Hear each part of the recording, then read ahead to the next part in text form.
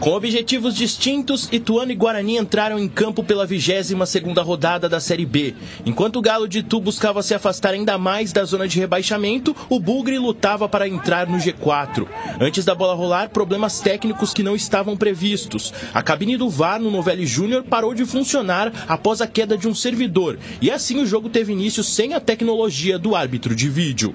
A partida começou bastante truncada, parando no meio de campo e sem muitas oportunidades de gol mas quando ela veio, saiu. Aos 36 minutos, Bruno José recebeu fora da área, passou pelo marcador e bateu bonito na bola para marcar um golaço no Novelli Júnior. Um... E a gente está tentando construir, cara, tá tentando chegar, né? E graças a Deus chegamos e eu pude ser feliz no gol.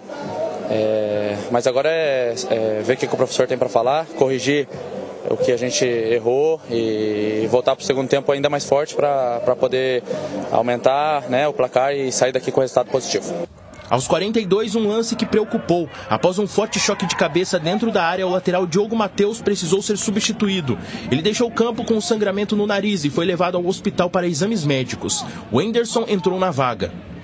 Já nos acréscimos, o Galo de Itu perdeu a chance do empate. Vinícius Balieiro recebeu na linha de fundo, já dentro da área e cruzou. Primeiro, Matheus Cadorini furou. E na sequência, a bola sobrou para Wesley Pomba, que cortou e bateu por cima. No retorno do intervalo, o Guarani precisou queimar mais uma substituição. Dessa vez, Mike saiu para a entrada de Kaique Silva. O lateral esquerdo sentiu dores na coxa direita e deve passar por avaliação médica. Com a bola rolando, o time de Campinas voltou desligado e viu o Ituano dominar o segundo tempo. E não precisou de muito para o Galo ser recompensado. Aos 12 minutos, Hélio Borges cruzou no segundo pau e viu Wesley Pomba sozinho saltar e marcar um golaço de primeira. O segundo dele em três partidas com a camisa do Ituano. Tudo igual no Novelli Júnior.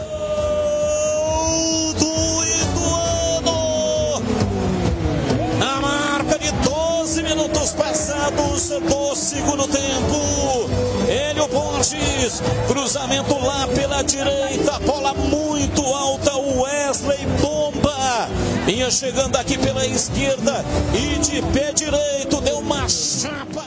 Não, a gente, a gente sabia da dificuldade que ia ser jogar contra o Guarani aqui, na nossa casa, né? Uh, claro que a gente buscou a todo tempo a, a vitória, só que acho que o empate cai bem para a sequência do campeonato aí e a gente vai seguir firme. Falando em torcida, os 2.542 pagantes fizeram desse confronto o maior público do Novelli Júnior nesta Série B. O resultado é comemorado pela equipe de Itu, que conseguiu parar um dos times postulantes aí na briga pelo acesso. Já pelo lado do Guarani, mesmo chegando ao sétimo jogo de invencibilidade, o segundo empate consecutivo faz com que a equipe de Campinas não consiga entrar no G4. Cara, eu acho que pra gente, pelo que foi o jogo, pelo que a gente propôs no primeiro tempo, é um resultado ruim. A gente, lógico, respeitando a equipe do Guarani, sabendo da quali das, das qualidades deles também, mas é o que a gente prega dentro do, do vestiário, cara. A equipe que quer subir tem que, tem que pontuar fora de casa. E, e não só empate, mas três pontos. Então, é, acredito que a gente precisa corrigir algumas coisas, ser mais letal também, porque a gente tem chance de fazer o segundo, às vezes tem chance de fazer até o terceiro no jogo. E como foi o jogo passado contra o Ceará também, a gente teve chances, então a gente tem que, tem que ser mais letal, tem que ser mais decisivo lá na frente e para a gente não sofrer tanto assim no, no, nos jogos. É, mas perdemos algumas conexões, erramos um pouco ali de passe, principalmente do penúltimo para o momento da decisão fizemos algumas escolhas erradas que poderíamos ter aumentado o nosso poderio de finalização e, consequentemente, é, ampliar o marcador. Então, a gente conseguiu sair na frente na casa do adversário, tendo um controle. No segundo tempo, é, a gente teve também alguma outra oportunidade para poder andar, conectamos errado, demos ao adversário aquilo que sabíamos que ele poder, poderia gerar de desconforto para nós. Jogava com dois atletas na amplitude, com um peso de área maior, então a gente precisava ter uma alargar um pouco nossa linha para que a gente pudesse ter um preenchimento melhor de área e assim não, não dar ao adversário a oportunidade é aquilo que eles gostam de fazer. Então, infelizmente, a gente acabou sofrendo.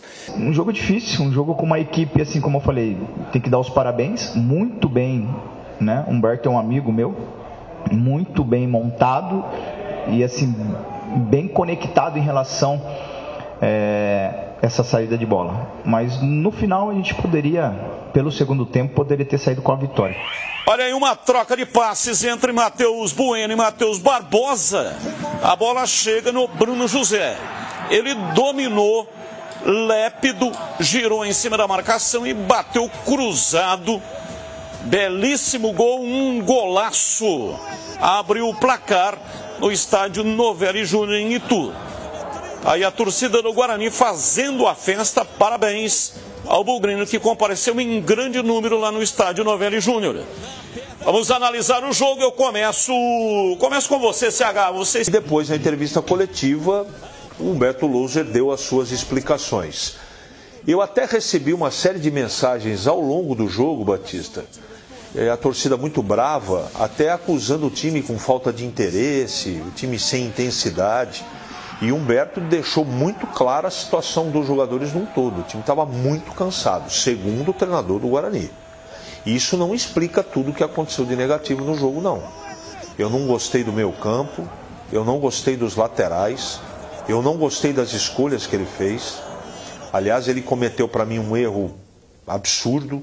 Faltavam três minutos para terminar o primeiro tempo quando o Diogo Matheus machucou. Ele não tinha que queimar uma, uma, na minha opinião, respeito o contrário, tá? Ele não tinha que ter parado o jogo ali para queimar uma substituição sabendo que ele tinha um time cansado. Ele ia ter que mexer muito no segundo tempo. O que, que aconteceu? Ele fez mais uma, ele fez uma no intervalo, porque o Mike travou as pernas, e aí ele tinha mais três para mexer. Ele parou o jogo a primeira vez no meio do primeiro do segundo tempo, aí ele tinha duas de uma vez para fazer, que ele arrastou até quase 40 minutos. E o Guarani estava morto fisicamente. Aliás, ele tirou dois e tinham quatro que estavam cansados. Então, se ele não para o jogo com a substituição do Diogo, e eu não teria colocado no jogo o Anderson, teria colocado o Alvarinho, não é? Talvez, talvez o Guarani tivesse mais equilíbrio na partida no segundo tempo. Eu não sei se ganharia o jogo, tá? Isso eu não tenho bola de cristal. Então, o Humberto que a gente respeita, que a gente, eu pelo menos acho que o trabalho dele é muito bom, aí o gol do Ituano, mas nas escolhas e no todo ele foi muito prejudicado pela parte física, é verdade, mas a escolha e de Golaço, quem entrou. Wesley Pomba. Dessa Difícil. vez ele não foi feliz, não. Pegar uma bola assim. Teve chance até para virar o, para ganhar o jogo, para virar o jogo. De qualquer maneira, parabéns ao Guarani. Eu acho que o empate foi ótimo pelo futebol apresentado que eu não gostei. Primeiro tempo para mim equilibrado, o segundo tempo o Guarani arriou fisicamente. Eu, é claro que aqui é, é, tem, o programa sempre teve essa característica de liberdade total, de democracia e de respeito. Eu fico imaginando se ele não para o jogo quando o, o Diogo Matheus saiu com uma contusão preocupante na cabeça, nariz, sangrando, no fim acabou indo para o hospital de ambulância. Eu fico me perguntando, tá, se ele faz isso que o CH falou, eu estou dizendo que é questão de ponto de vista, né? respeitando a opinião de todo mundo. Eu não vou queimar uma parada agora, porque daí eu tenho mais chances no segundo tempo. E aí ele toma um empate com 10. O que, que ia acontecer com o Humberto?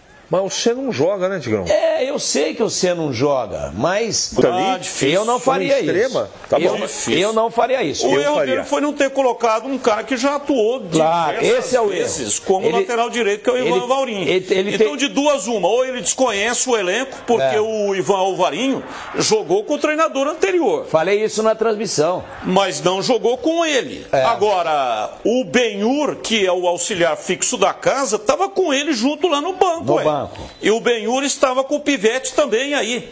Então, ou demonstra desconhecimento do elenco, ou então não passar a informação não. direito, né? O, o Alvarinho jogou com o Daniel Paulista de lateral. Depois com o Pivete. E agora não entrou. Ah, mas foi por isso que o Guarani tomou gol. Olha o gol aí onde está o Enderson. Ah, esse jogador que fica olhando a trajetória da bola e quando ele vira já está saindo o chute, sabe quem que é ou não? É o lateral direito improvisado, olha lá, 23. Esse é o Enderson. Então, eu acho, eu não faria, mas eu respeito. Ah, não, não vou queimar, tá legal. Eu faria alteração.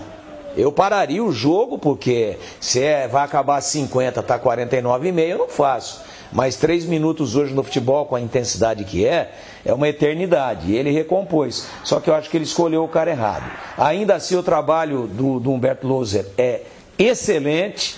O Guarani está a um ponto da, do G4, está a sete jogos sem perder e com maior número de vitórias do que de empate, com quatro vitórias e três empates em sete jogos. É muita coisa, são 21 pontos disputados e o Guarani perdeu seis pontos. Ganhou 15 pontos em 21 disputados, nesse recorte dos últimos sete jogos. Então a campanha é muito boa, só que eu acho que o time arriou e o Marcinho mexeu muito bem no time, jogou o Ituano para cima, empurrou o Guarani para trás e poderia ter virado o jogo sim. Tem Juventude Vila hoje, né?